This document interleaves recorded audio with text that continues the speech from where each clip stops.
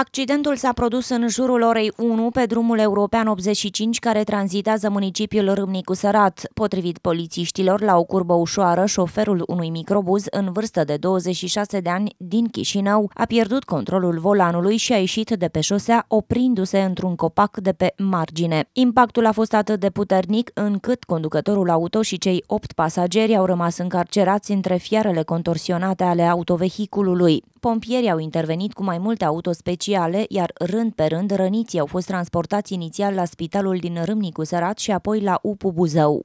La fața locului s-au deplasat 5 autospeciale din partea ISU Buzău. În urma executării valorii la fața locului, împreună cu echipajele Serviciului de Ambulanță Județean, s-a constatat că un număr de 6 persoane dintre cele 9 victime necesită a fi internate, motiv pentru care au fost transportate la UPU Buzău.